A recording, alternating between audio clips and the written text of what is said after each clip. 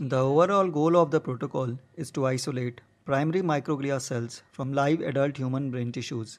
In our case, this was collected as surgical window during surgery. This is accomplished by initially collecting the brain tissues in ice cold PBS. The tissue is then diced into 1 mm cube small pieces and digested with the help of trypsin EDTA. Following this, the cells are harvested by centrifugation and plated in a flask suitable for adherent cell culture for 48 hours. Cells are harvested once more from the flask and cultured till further use. Primary human microglia cells can now be characterized by using immunocytochemistry and used for further experiment. The main advantage of our protocol for isolating microglial cells from adult human brain tissues is that it effectively provides primary adult human microglial cells in a very cost-effective way.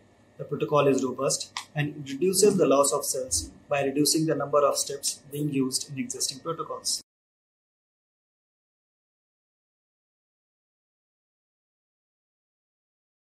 Collect the tissue in a 50 ml Falcon tube containing 10 ml of ice cold ACSF. Wipe the collection tube carefully with 70% alcohol and transfer to an aseptic laminar airflow chamber.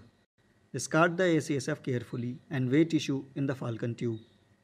Calculate the approx weight of tissue by reducing the weight of empty Falcon tube. Warm fresh ACSF to 37 degrees centigrade. Keep the tissue in warm ACSF for 5 minutes.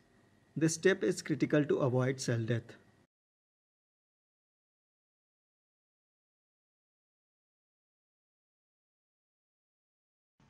Discard ACSF carefully and wash tissue once with 1x PBS warm to 37 degrees centigrade. Ensure all blood is washed away with repeated PBS washes as needed. Incubate the tissue in warm